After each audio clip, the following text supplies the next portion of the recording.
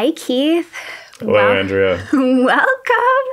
Thank you so much for coming today. Thank you for joining me. I appreciate it. And I really look forward to our conversation and getting to know you better. And um, you have some very interesting things to share. So I can't wait to share that with other people. Yeah, I'm thrilled to be here. Good. So, um, I don't even have my questions near me. So, um, we're going to talk about loving the shadow, right? That was something that um, felt near and dear to you that you brought up. And um, where are we going to start with that? I guess maybe how do I feel about loving the shadow? We were kind of talking about that off air, right? Mm-hmm. You asked me how my holiday season had been. And I was telling you that um, it was challenging personally. And there were some things that I had to overcome, right? Um, and there were things that I didn't particularly love about it.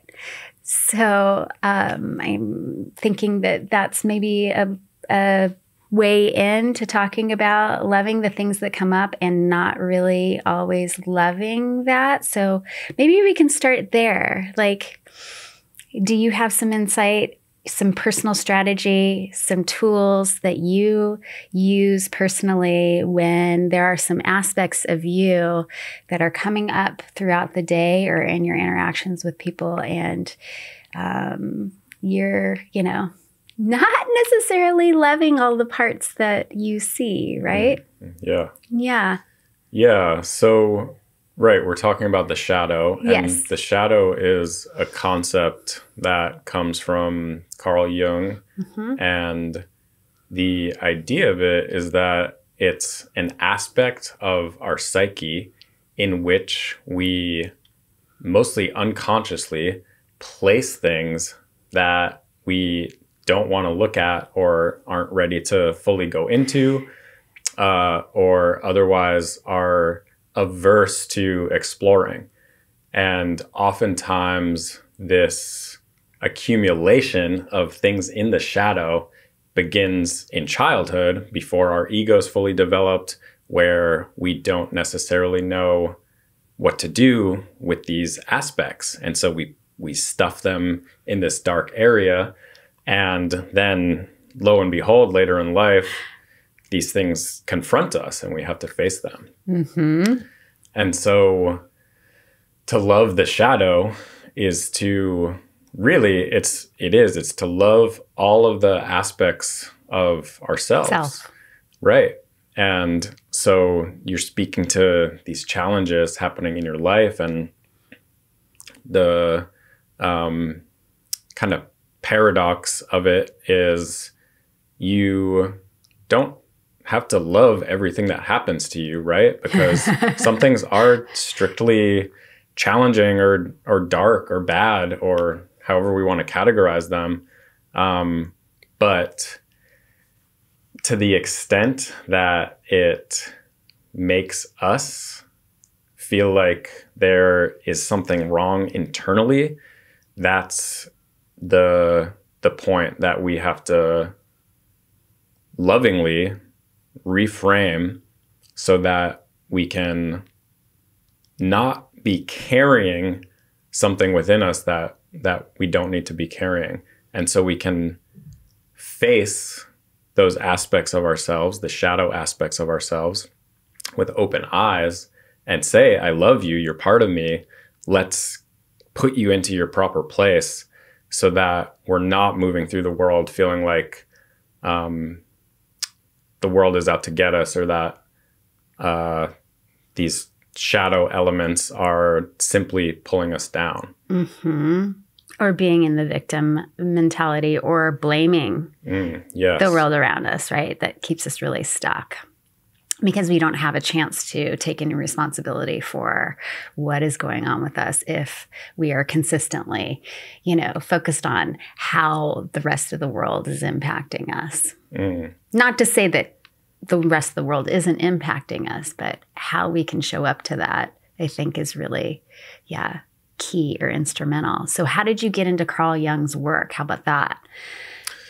Yeah, it, I think initially it, I came to his work by just kind of seeing his name popping up from different sources, from different people who I was interested in their work. Mm. And so there was this confluence of, oh, all of these roads are leading back to Jung. And so I have to check this guy out. And he was someone who, you know, he he attained quite a, a following during his lifetime and at the same time, he was, I think, quite ahead of his time mm-hmm. to where people didn't fully accept his his psychological theories because they were kind of out, out there. there. Yeah, and you know, he was a disciple of Freud and then took a hard swerve away from him and Freud was kind of dominating the psychological landscape. Mm-hmm. But now there's this emergence of interest in this man's work, and some of it is real out there. And, but it's infinitely fascinating. And I think he went deeper into the psyche than anyone anyone else that I can point to. And I see his work show up a lot with men's work. Mm which I think is interesting. Um, I was introduced to Carl Jung surprisingly in high school, which was really lucky on my part. Wow. But because I took a world religions class. And uh, it's funny because I was just talking about this on a podcast uh, episode earlier this week that. that was kind of my way out of religion, right? For me, that was my aha moment because I had, you know, internally decided that people thought differently and I was in such a sheltered environment that I was like, yes, these people, you know, it was confirmation for me that, you know, there was someone in the world that really, um, yeah, thought differently about how we should be. Mm. And um, I think the aspect of the men's part, right? Um, I really, in my 30s, was in therapy quite often. And um, I got introduced to David Deida's work. And um, yeah, I feel like they're, you know, he, I think some of his work is based upon that strategy or that belief system or, yeah, the philosophy behind Carl Jung's work.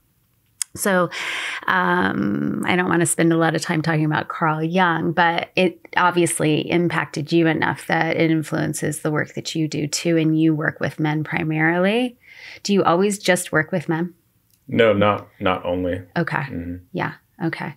So, but you do lead a men's group, mm-hmm. right? Yeah. And so is that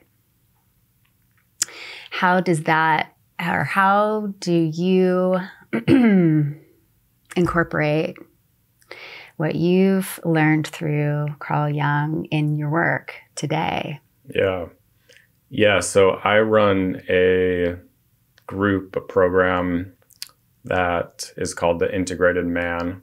And the idea of integration is something that in part I can attribute to the the Jungian stuff. The but it's around this idea of wholeness. Mm-hmm. And that wholeness is a healing function. Mm-hmm. And we are all already whole. So it's not something that we need to seek for because it's already there. But integration, in the way that I think about it, is we're taking all of the parts of ourselves and we're aligning them in a harmonious way.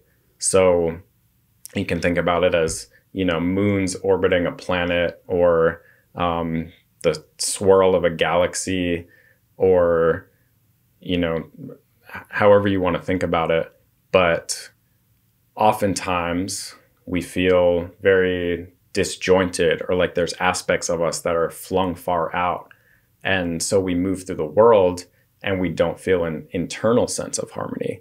We don't feel that experience of that wholeness that is is innate, is our birthright.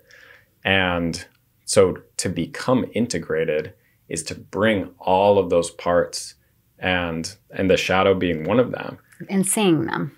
Yeah and seeing them and welcoming them in and finding the place for them so that you can come into proper alignment and if we can be in proper alignment then we're sturdy you know if we're uh if we have these parts of us flung flung far out and a great weight is placed upon us, then we might collapse.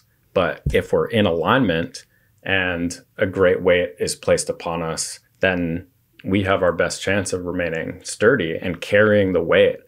And so that's that's one of the main ways that I utilize the the Jungian idea of one's wholeness and integration of all of the parts in order to help men to come into alignment with themselves. Okay.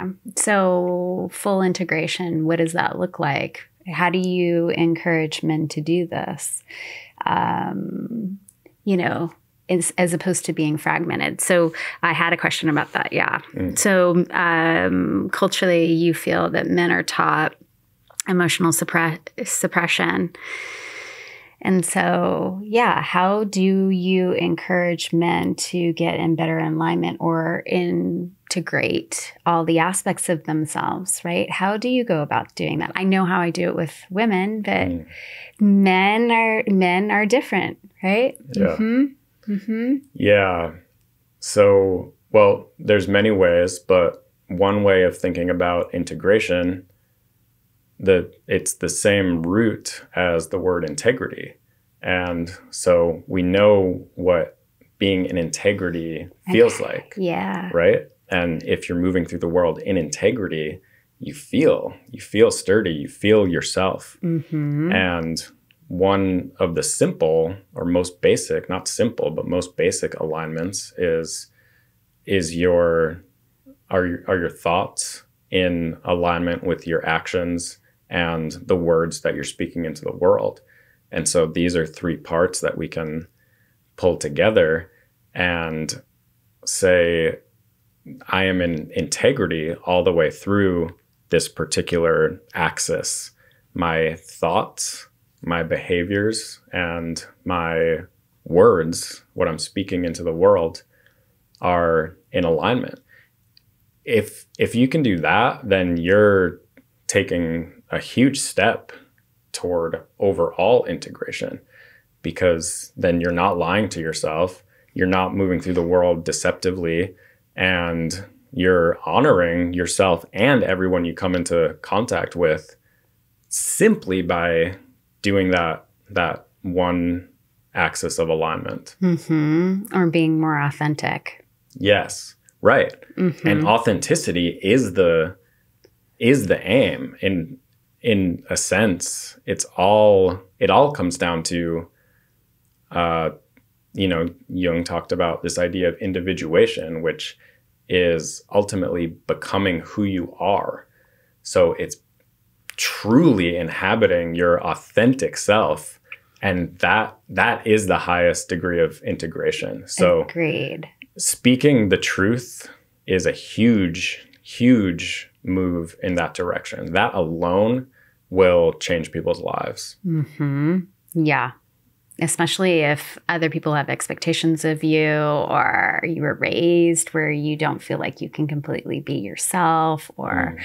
you have a, a you know partner who expects certain things out of you that maybe was great in a commitment 20 years ago but you've changed or you weren't even authentic when you made that commitment mm. right? Yeah, it happens. Yeah, it absolutely does. It happens a lot more often than probably we want to all admit. Yeah. So, yeah. really stripping down, I feel, or unraveling the things that mm, we've accumulated over time, the patterns of belief that we either taught to behave or react in a certain way and really doing self inquiry about why. Why do I? Um, why do I react that way? Or why is that having that reaction in me? Or why um, did I commit to that when it wasn't really honest? Or why I ask myself why a lot. You could tell. yeah. um, yeah. But, you know, getting very curious about, you know, um, getting very curious about myself helps me be more authentic, I would say. Mm. Yeah or show up authentically or more embodied or more aligned or more integrated um, because otherwise i'm just kind of walking around asleep right? Just yeah. acting and reacting and and not really checking in with is that my real truth right? And um, we can't be doing that 100% of the time of course. Um, i'm not perfect but more often than not I spend a lot of time in reflection, right? So it sounds like you too. And you're encouraging men to do and speak about things that normally men, you know, and I don't want to generalize, but men in general are less apt to have conversations about their feelings or burden someone with their feelings mm. or burden someone with their truth, right? Because they're like, no, no, no, we have a good setup here. And I, you know, I've committed to this and I, you know, don't want to rock the boat or, yeah, deal with all of the emotions that come along with the female counterpart, right? yeah, you know, you mentioned the emotional suppression. And I think that that can be attributed to a lot of things. Tell me more about that. Yeah. I mean, one is that it's it's almost more uh, what we're not taught than what we are taught. Okay. Um, because the the default state of a human being is to release one's emotions. Like mm-hmm. babies are crying all the time in order to advocate for what they need in the only way they know how. And it's just this pure emotional release. And babies giggling and laughing and you know, it's these pure emotional releases. And so it's a default way of being. But then, you know, we're we're not taught as men oftentimes that that is good, that that's good. And so, and then oftentimes we are taught that it's not good. And the being a little boy and you fall and you scrape your knee and you start crying and the line is like man up. Yeah. Which what does that mean? Man up. Yeah. It's really poisonous because it creates this false ideal that actually doesn't serve anybody. It's like what do you mean man up? To man up is to bury something and pretend I don't feel it. Yeah. Mm-hmm. And this is this is the shadow. We bury things that we don't want to look at and they don't go away. Mm-hmm. They emerge in other ways. Mm-hmm. And so if we're constantly repressing our own emotional state, mm-hmm. then that's going to emerge in some way, whether it's through as, anger or yeah. Yeah. And oftentimes men are susceptible to outbursts of anger. For sure. And that does a lot of damage. Mm-hmm. When maybe if we're just shown that if you're hurt, you can cry and that's good, then you're not having that buildup of pressure that's going to be released on someone who doesn't deserve it. Yeah, I'll never forget um, a psychiatrist that I worked with in my 30s told me that I had an anger management problem. so I'll speak on my own, mm. uh, you know, story. But with regards to that, she said, um, you know, how to manage it. You just reminded me. Uh, think of yourself as like a Coke bottle that's been shaken up. And she's like, when you see one bottle rise, to, I mean, one bubble rise to the top, like that's when you should be doing something. And I teach other people, you know, in my program or one on one, like anger is a warning system in your body. It's like an alarm going off. And anger isn't necessarily wrong. There's nothing wrong with anger. There's a lot of passion or energy behind anger that can be used or utilized or channeled into advocating for something or feeling really strongly about something or great movement behind something, right? But when I don't know how to express it, when I'm constantly told, okay, man up, or, you know, honey, you don't, you're okay, you're okay, you're okay, before you even have a chance to share why you might be upset, right? Mm. If you do fall down that um, you constantly, you know, can't recognize the bubbles. You can't recognize when you first start to get angry or when you first are starting to push stuff down until it gets to a place of explosion explosion especially if in your family that's how anger was dealt with or that's how emotions were dealt with right? It's it's also modeled to us too in our childhood. It's not just being told repeatedly you know every time you fall down or every time you have a worry or concern honey you're okay or you know overriding your feelings. It's it's also you know uh, how mom and dad dealt with anger too, especially I would imagine. I mean, you can speak to this more than I can because I was a girl, but or still am. But you know that that you look to your dad for how he deals with his emotions too. And if your dad is not capable or was never shown emotional regulation or was never shown how to express themselves, especially in relationship to your mom, it's going to be really hard for you to learn that unless you go out of that nucleus, right? Mm-hmm. And educate yourself or go to therapy or, you know, learn it from someone else. Yeah. Yeah. Yeah. And that tends to be how it is. And fortunately, we're living in an age where there is a lot of curiosity around this stuff and around how to process emotions in a healthy way. And uh, there's a lot of resources out there. And things that my parents' generation and their parents and their parents didn't have access, access, to. to yeah. yeah. we are fortunate that way, right? Mm-hmm. Mm-hmm. We're even fortunate in the work that we do because, you know, 30 years ago, that would be different. Yes. Mm-hmm. Okay, so how did emotional suppression impact you personally when you were growing up? Mm-hmm. Yeah, again, I think it was more so in what was not said, or you mentioned the modeling that that being a great teacher. Um, but yeah, I can remember being a boy, and a lot of this is coming from our peer groups too, and we're modeling these behaviors we don't even understand. And young boys can be really ruthless with one another. Mm, you guys like to tease a lot. Yeah, and right. And and joke around and make fun of each other and, you know, especially with emotions, right? Yes. Mm-hmm. And that often becomes the mask for one's own emotional insecurities is oh, I I don't want to be the target of this ridicule, so I'm going to target.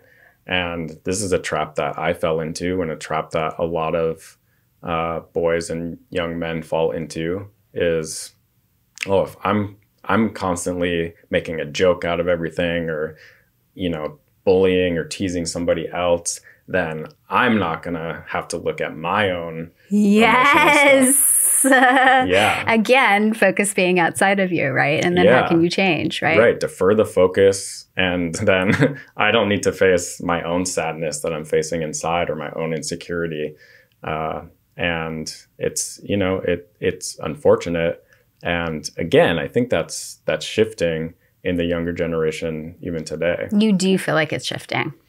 I do. I mean, I you know, I don't have uh, a lot of contact with you know like high school age boys, so I don't know what it's like in those spaces these days. But I imagine because of this emergence of this self reflectiveness that is just happening more on a cultural scale, that that is trickling into these spaces, and people are these these boys are relying less on uh, just cruelty and or even just deferring by means of joking and are hopefully able to converse more about it and work things out that way. Hmm.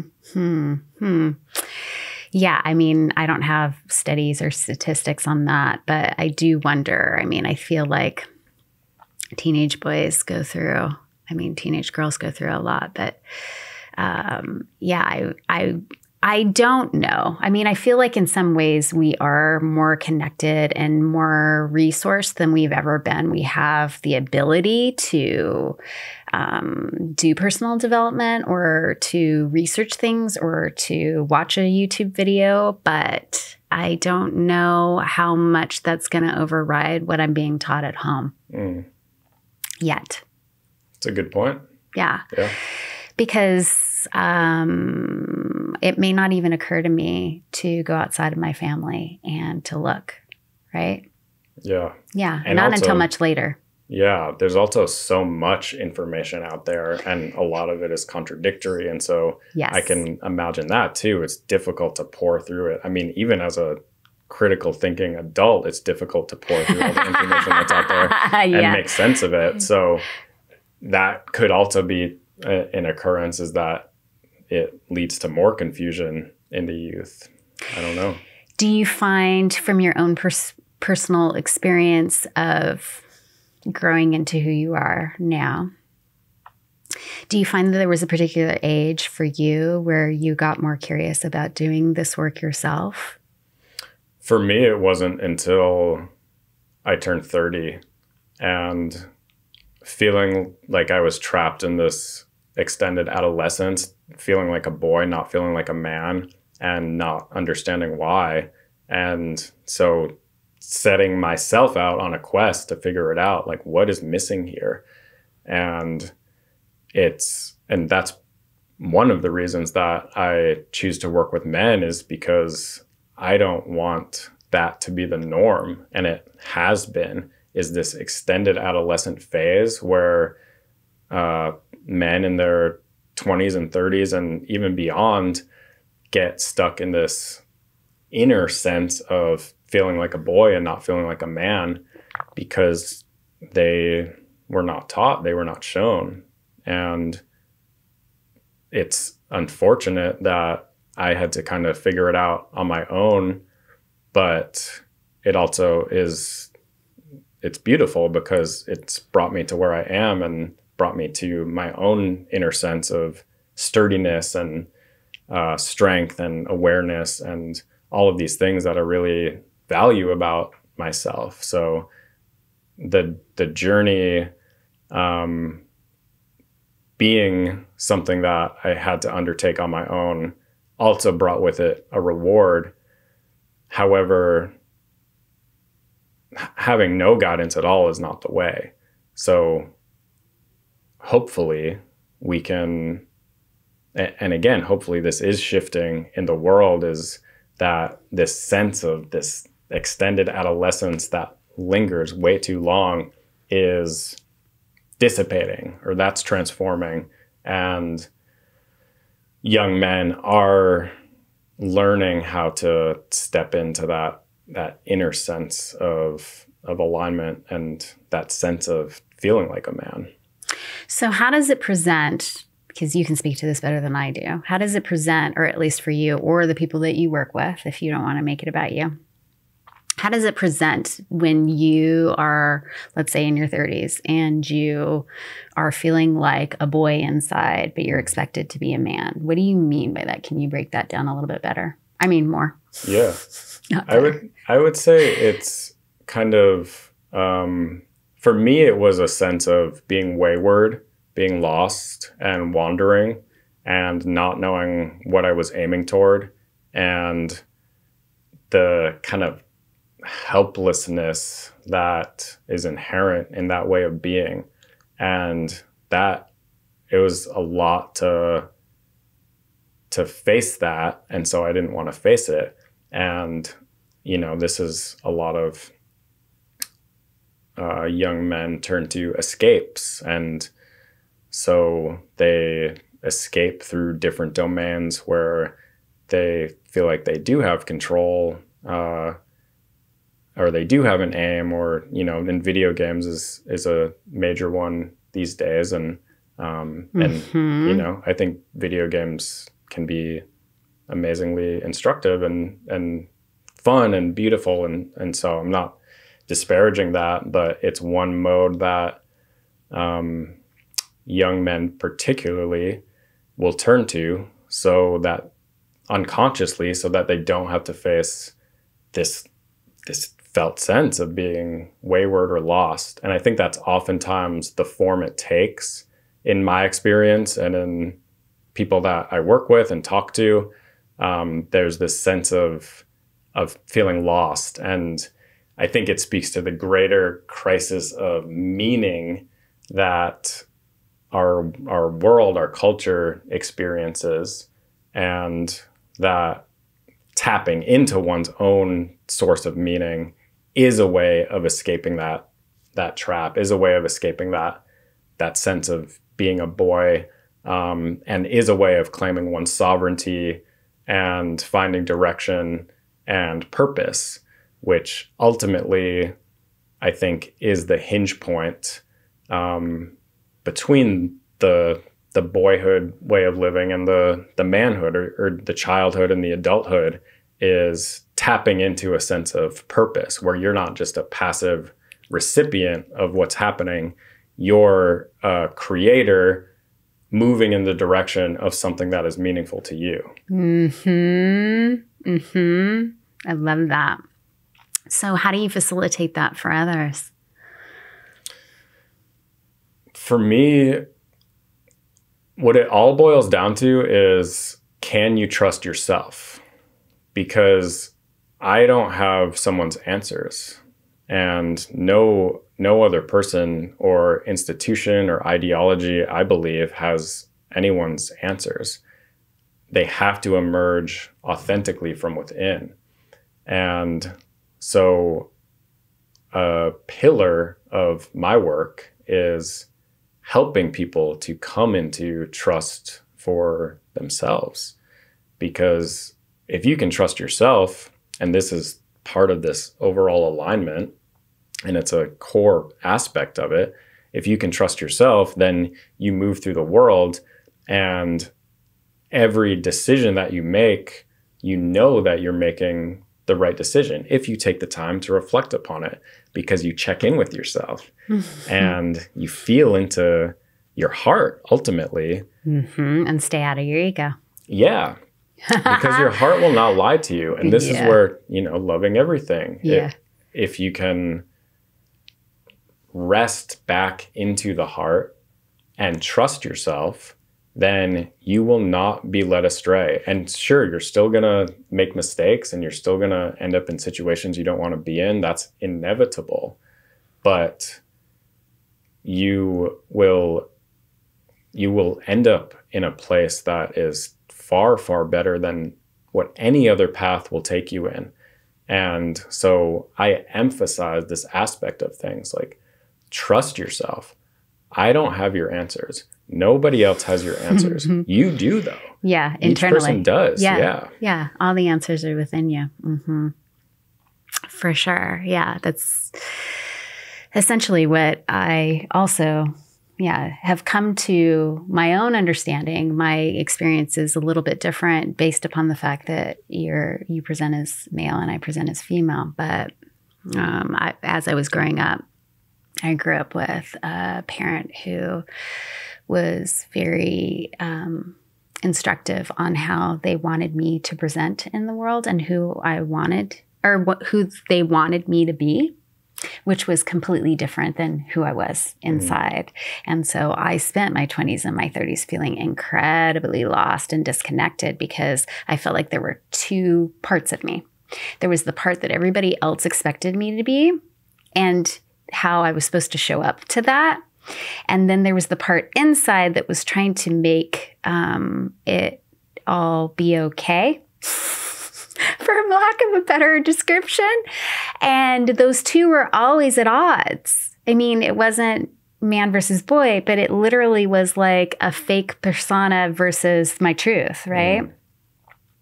And going through this conversion process of really starting to grow that part of me despite what that would or the ripples that that would impact the rest of my life or the people around me right? And having a lot of fear i find that you know even with my clients or even with my friends or even with in conversation with people that people have a lot of fear of change right? Again you know that that I don't want to rock the boat or you know we've been married for 10 years and I don't want to be alone or, you know, but people don't want to speak to their truth. And I feel like again that that goes to the concept of feeling incredibly disconnected. Like you're all alone here in this world. Mm. And that no one's really looking out for you, and that, you know, um, no one really cares. Mm-hmm.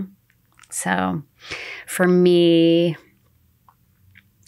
um, I try to cultivate truth as much as possible. I think that's the only way to really be honest about how I show up and how I present.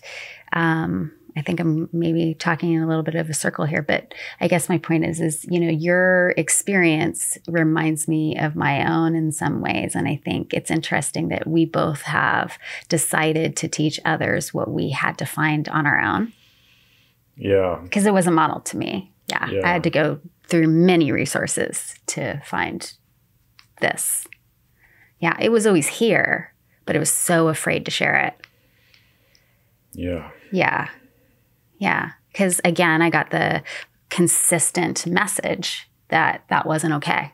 That's not okay. That person is not okay. Mm. Yeah. Please keep doing this. This is better. This works for me. yeah. Right? You know, this is working. Why do you need to change it? Right? Mm-hmm. Yeah. And mm-hmm. I think part of the path of trusting oneself is trusting the truth that each person is on his or her own path. Yes. And allowing them to walk their path rather than trying to force some vision of what I think this person should be doing. Yes. Yeah. That sovereignty, right? Yes. Mm-hmm. Yeah. And not projecting my expectations on how you should show up in our relationship, just allowing someone else to be, and that everyone's on a different part of their journey. And sometimes people don't want to do the work. Mm. So you have to, you know, essentially leave them behind or lose the relationship as you continue to grow. And that's also, you know, what people fear too, I find, right? Yeah. Is that if I change, then the people around me are going to have to change too. And what does that mean? Right? That that that relationship might end because that person has certain expectations for how I show up and I'm no longer looking in or living in my ego. I'm speaking from my heart now, and that's going to change things. Yeah. Yeah. Mm-hmm. Um, let's see.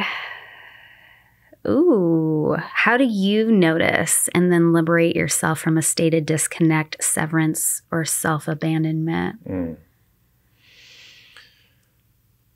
So there yeah, this this state of disconnect, this state of self abandonment is a common theme of our world, and it's interesting that on in one sense we're more interconnected with one another than ever. Yep. and at the same time just looking at it from a different plane we're more disconnected than ever. Yes.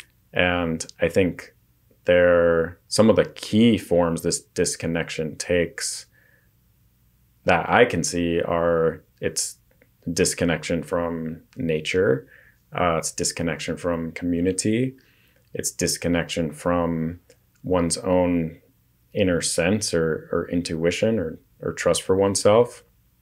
Um, and it's disconnection from purpose or meaning. And these are major themes of disconnection that people are experiencing in this world we're living in right now. So, you know, the how do we address disconnection? It's simply through the opposite mode of of connecting and mm-hmm.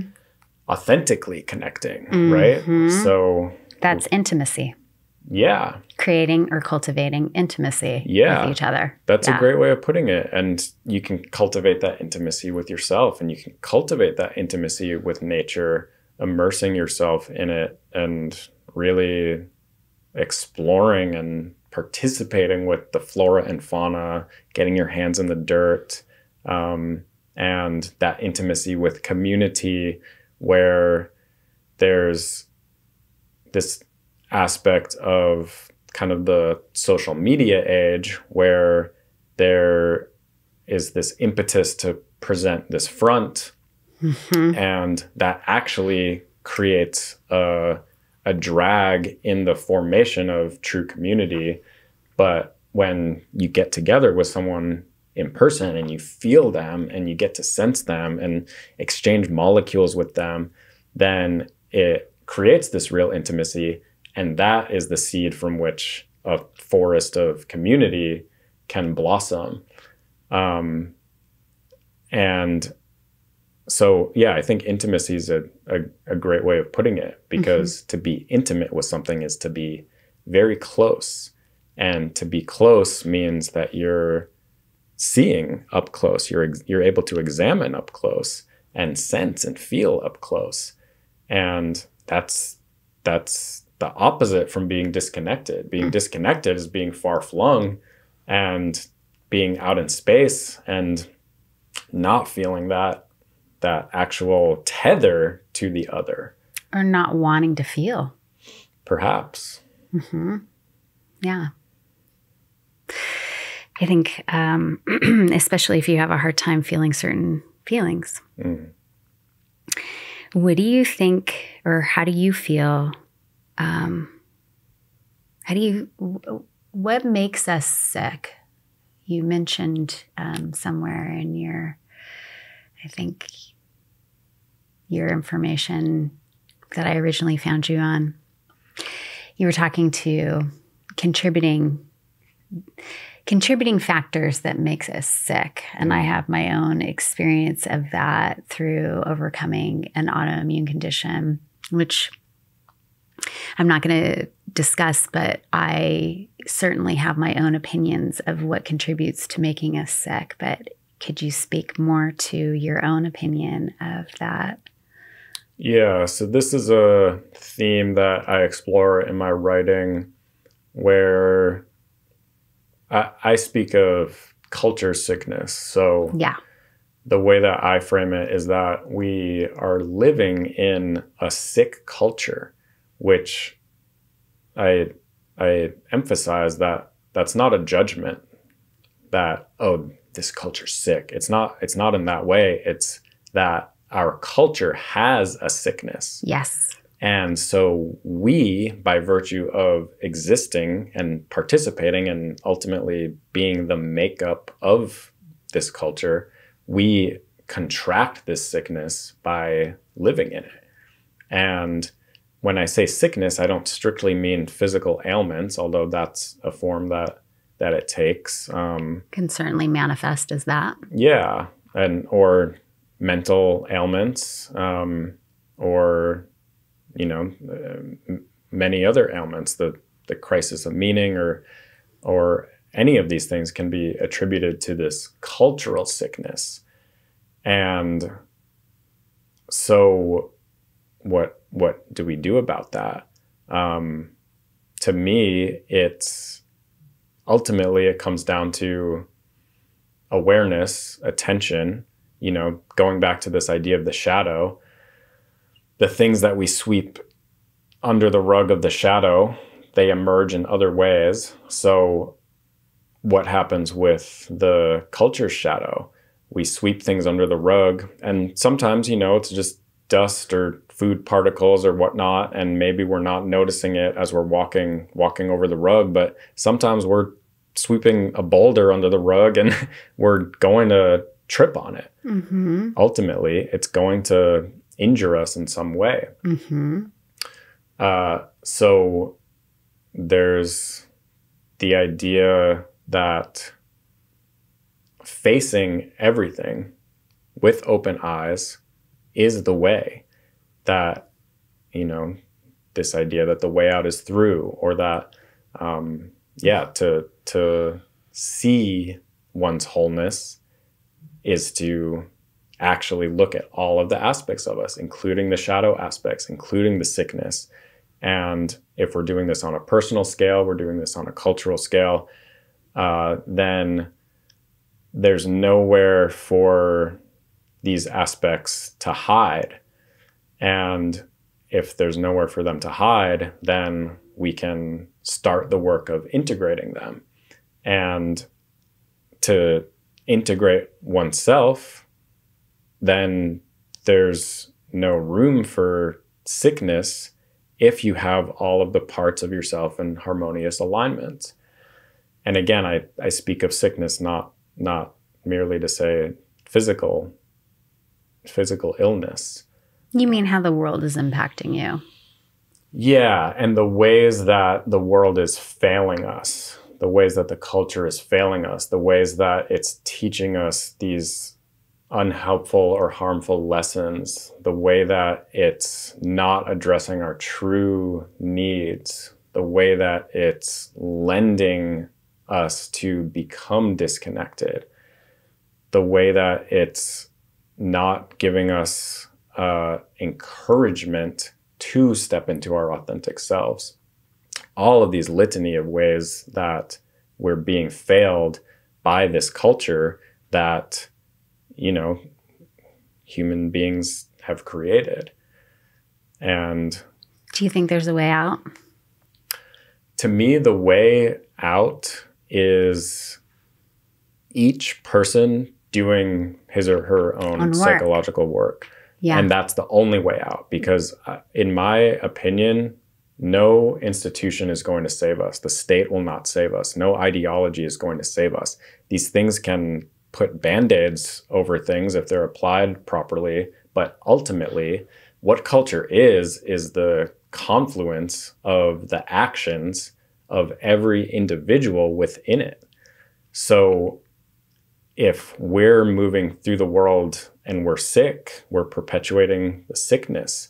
And if we're getting ourselves into alignment, then we're affecting the field yeah. and we're creating stability in the field. We're creating harmony in the field. And simply by moving through the world, that impacts the people that we come into contact with because we're not throwing our shadow stuff on other people. Yeah. Projecting it. Yeah. Yeah. We're anchoring a sense of, um, for lack of a better word, wholeness or health.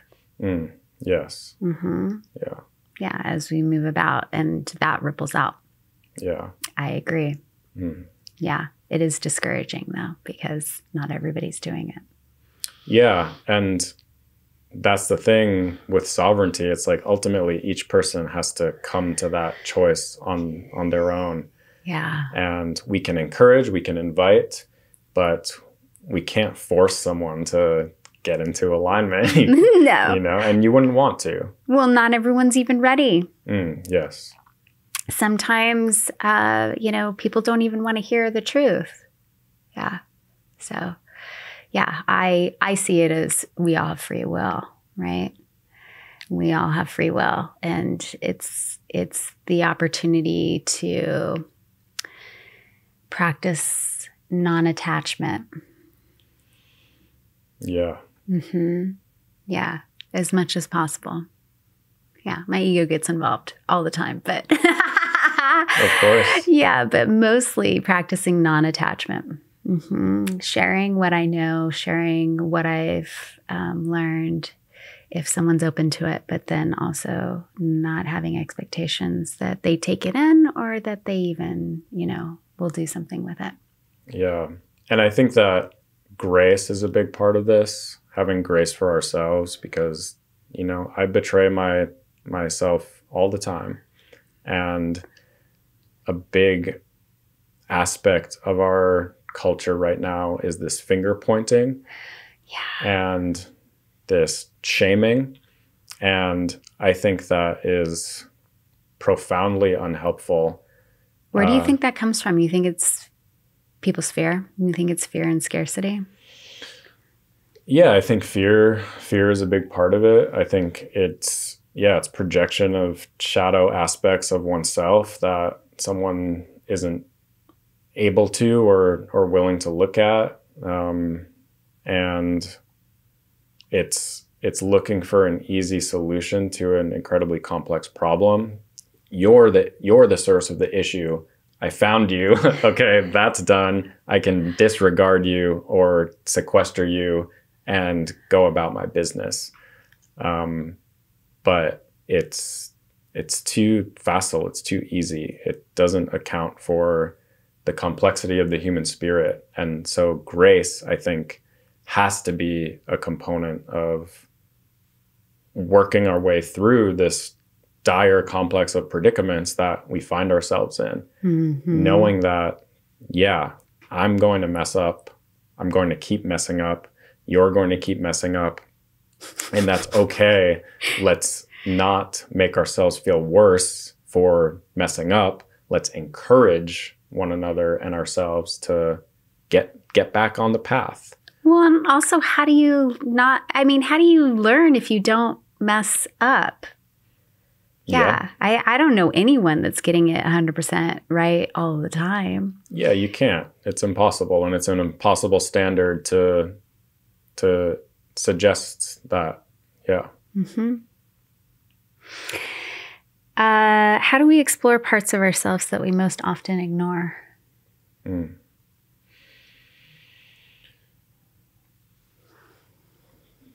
I think what it comes down to is the dichotomy between curiosity and judgment. So you you mentioned curiosity earlier, and I think that's a key component of all of this because judgment and curiosity are opposite forces. They can't occupy the same space at the same time. Like fear and love. Right. So if we're in a state of curiosity, we're open, we're taking an open stance, and we're taking an inquisitive stance. Versus in judgment, we're taking a closed stance and we're taking a stance of, I already know, therefore any new information coming in is irrelevant and you're already wrong. So why are we having this conversation?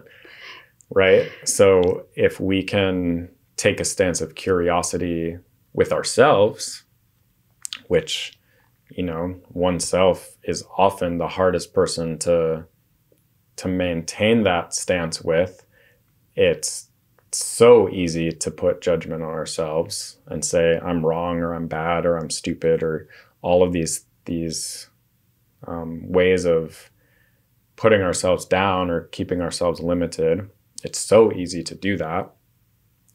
Uh, but if we can inhabit a mode of curiosity, then we are opening up something in ourselves and we can peek under that rug that we've swept everything and not necessarily have to be afraid of it.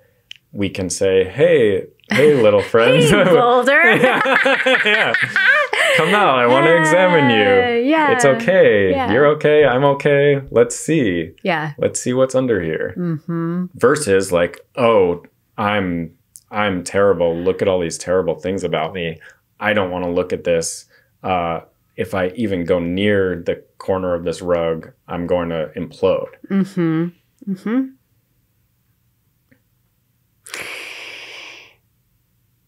Why is love the key to integration?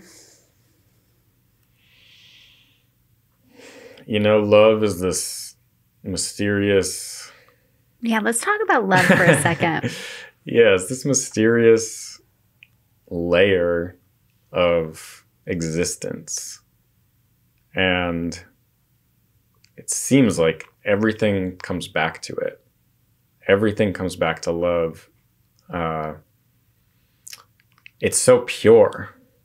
It's so pure. It feels so good. It's so right.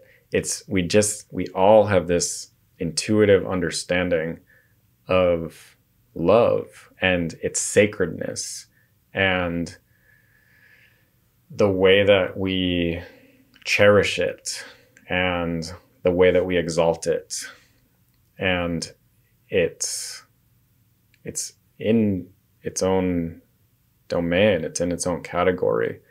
And it's the highest the highest thing that we can imagine. It's a source of such great poetry and such great meaning and it's it, a very high vibration. Yeah it's you know i think it's the highest the highest thing there is is love. And it's so much has been said about it that it's hard to speak about it without falling into cliches. Yeah. Uh, but you know sometimes cliches are are true because something that is so obvious is stated a lot. And so love is the the operative mode of healing. It's the operative mode of interconnection of transcendence of limitation. It's it's benevolence. Mm-hmm. and it's pretty much it's always the answer. It's always the answer is love what do i need to do in this situation whatever it may be inject more love that's pretty much always the answer it's really simple right we make it really complicated hmm do you remember when that that simplicity came to you? I mean, I think it comes in in moments, in fleeting moments, and I think it's something we all know all the time. But was there an aha for you? I can't say that there was. I okay. think it was more an accumulation of being kind of beat over the head with the same lesson over and over in life until I have no choice but to to face the truth of it. uh-huh. Yeah, that love is is the way. And again, it, it sounds so so pedestrian or, or so cliche to say that, but but it's true. you can't argue with it. It's just true. Yeah. Well, I teach people or I say often that um, I'm just showing you how to love the parts of yourself that are sprinkle in love mm. in areas that just were never loved before. Either someone was too busy with their own emotions or, you know, um, too self absorbed to be able to do that for you in that moment. And that's okay. But you showing up to do that now and recognizing that maybe that hasn't been done for you in the past, but that you can do that more often throughout your life is the key. I think the more that we can embrace, uh, again, all of the aspects of ourselves throughout the day and learn how to love aspects of ourselves that maybe weren't loved in our family or weren't loved by our partners or weren't loved by our friends, because ultimately it comes down to us learning how to love that about ourselves. Mm-hmm. Yeah, truly. Because I have to live in this body. Nobody else does. And, um, yeah, I, I, that's that's the best way I can describe taking responsibility for how I show up again. Yeah, is by having more love and compassion for all of the parts of myself that are still wounded and still showing up. Yeah. Because I can't I can't get rid of that. You know, and I don't even think that's the goal. As I get older, I realize like it's not about trying to rid myself of the things that um, are seen as unhealthy or seen as unproductive. It's more about how can I love those aspects of myself when they're presenting so that I can shift into more productive ways of being. Mm-hmm. Yes. Mm-hmm. Yeah, I think that's it. Um, let's see, what did we not cover? Oh, so you talked about healing at one point and that love is the key to healing, right?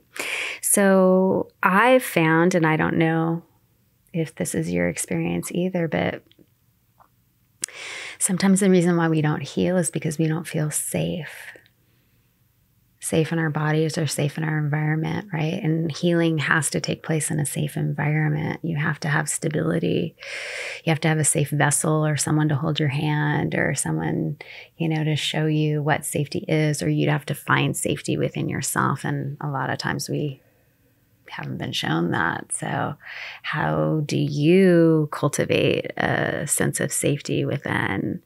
Or, yeah.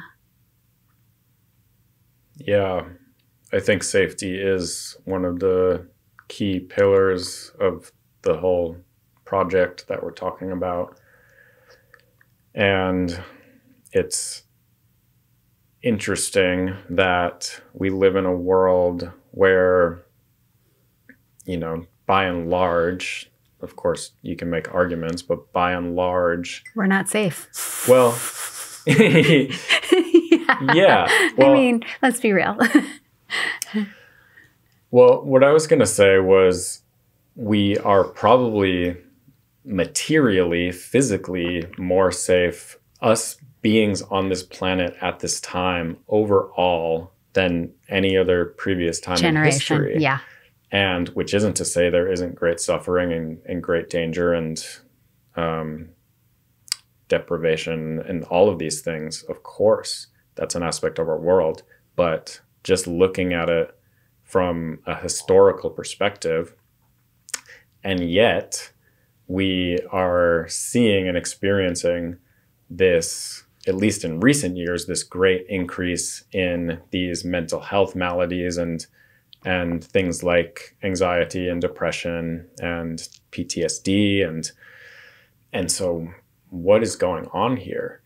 You know, I can I can conjecture or imagine back in our distant, distant past, our ancestors who lived on the plains and lived in the wild and uh, lived a nomadic lifestyle. And it was, there's probably a lot of anxiety in that way of living uh, when you didn't know if some predator was going to, you know, run away with your child, mm-hmm. or you know, you break your leg and that's the end of your story. Mm-hmm. Um, so there was probably, I imagine, great anxiety in that way of being, and in some sense, the whole cultural project is a way of not having to worry about getting eaten by a lion. and I'm I'm being tongue in cheek when I say that, but there there's also truth in it. Like we have created this infrastructure so that we can control as many variables as we can so that we can feel safe and not be subject to the whims of wild nature and yet and yet we are more anxious than than ever maybe you know uh, uh, but so what's going on here? Yeah. What is going on here? Because i don't imagine somebody on the plains couldn't get out of bed. Mm. i mean i'm sure it existed don't get me wrong but um, definitely less than now. Yeah. Maybe that comes down to our own disconnection.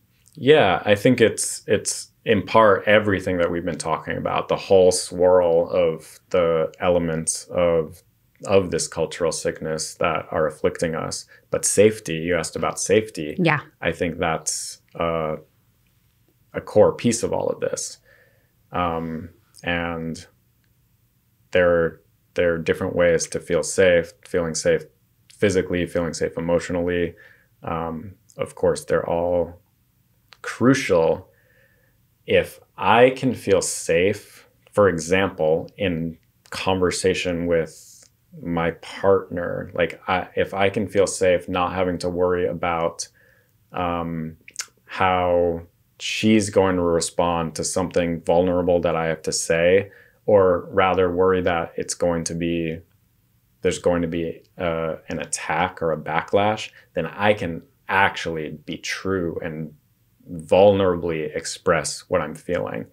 And so if my lover comes to me and says, you know, there's something really bothering me that I need to talk about, if I tense up and get ready to get into attack mode uh, and whatever she's saying, I'm making it about me and creating this this pattern or this way of being, she's not going to feel safe to bring things up with me. And therefore we're creating this this field of unsafety and people like you talked about earlier you felt like you for so long you carried this aspect of you that um, you couldn't be your authentic self mm-hmm. because it didn't feel safe to be that mm-hmm. and so we want to create a world in which people feel safe to be their authentic selves and they can sing the song that their heart wants to sing mm-hmm. and they don't have to worry about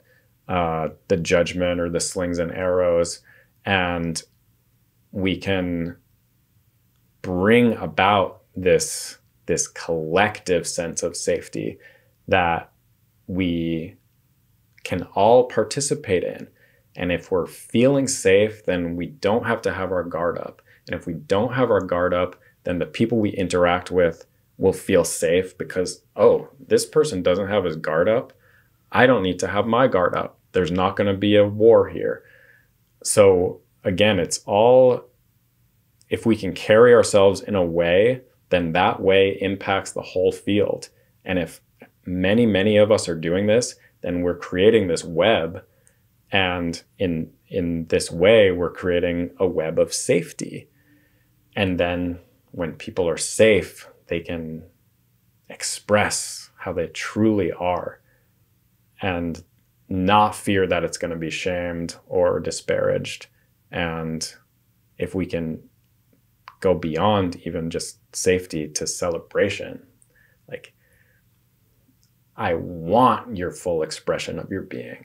Please, like I invite that, then we're bringing that that connection back, and we're we're bringing that that uh, field of authenticity into being.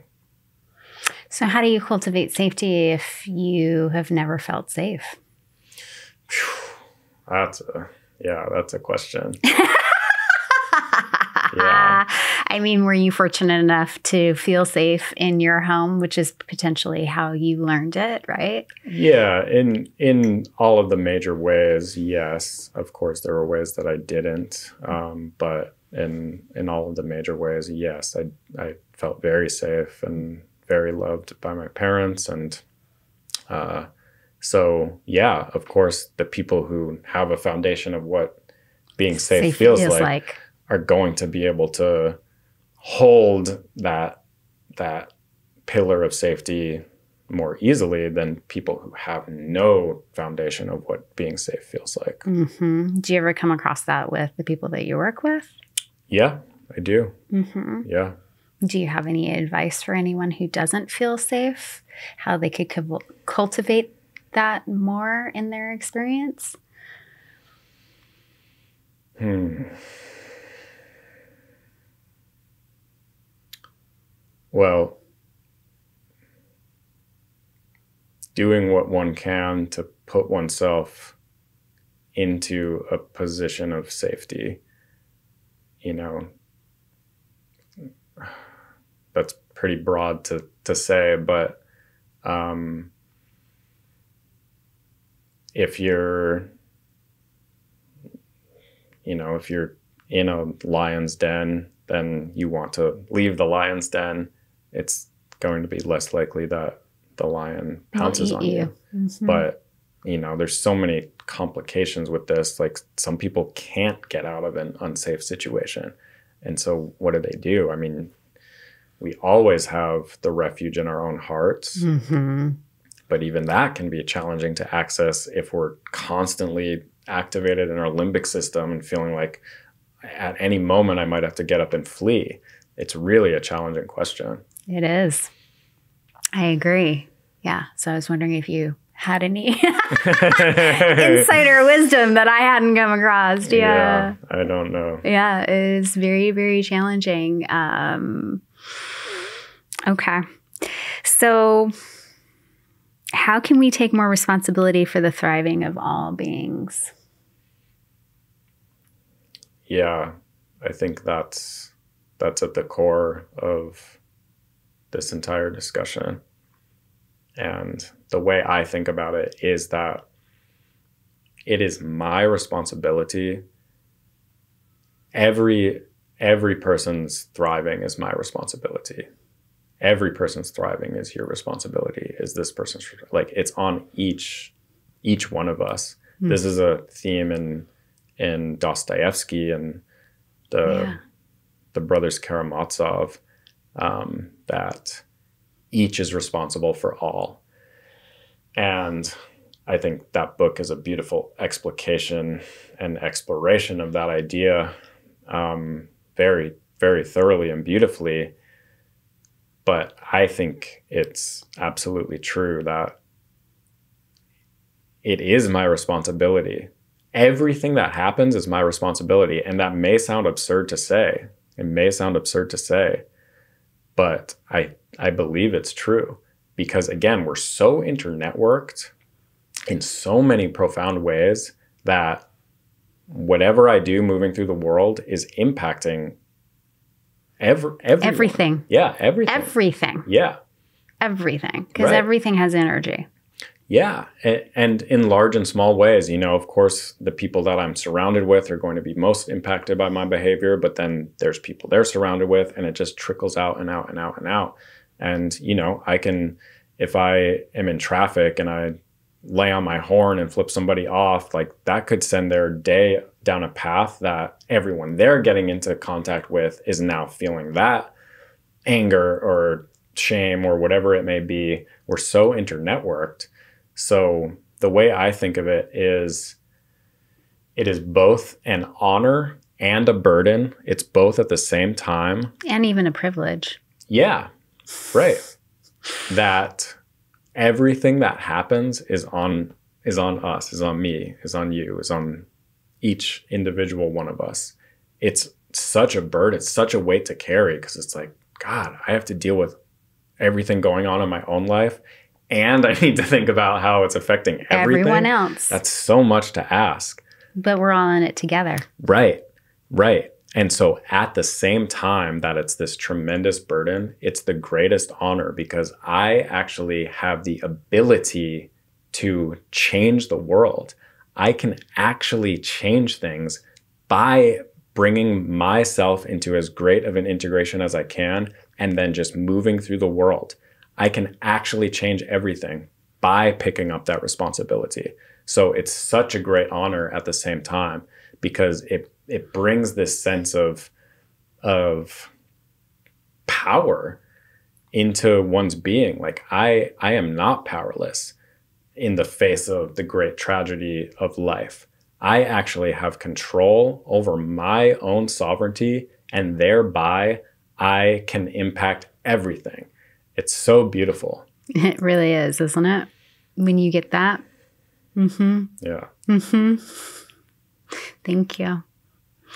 Thank you for sharing everything that you shared today. And thank you for your wisdom.